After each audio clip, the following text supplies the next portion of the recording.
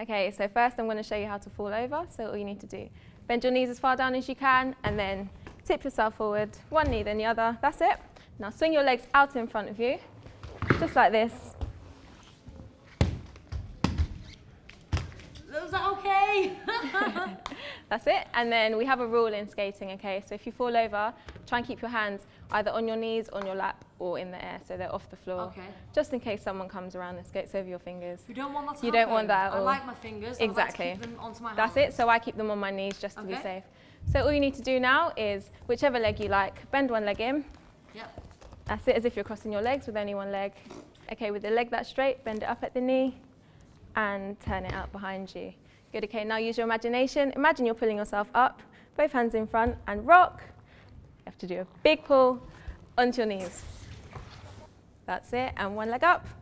Make sure skates pointing forwards, all wheels on the floor, both hands on the knee, and then push up slowly, and, and then skates in a V shape. Okay, let's Yep. go. What? Oh, That's pleasantly it. surprised. And then skates in a V shape. V shape. Yeah, back wheels touching. So as long as you're standing up and your skates are in a V shape, they won't move. Okay. Oh right. Okay. So if you have them pointing forwards, they might turn in and you might roll backwards. Ah, that's a good information. to exactly. know. So keep them in a V shape and then as long as you're standing in a V shape, they won't move. There we go. Right, I've got that. Falling and how to get up. Right. What is the next step?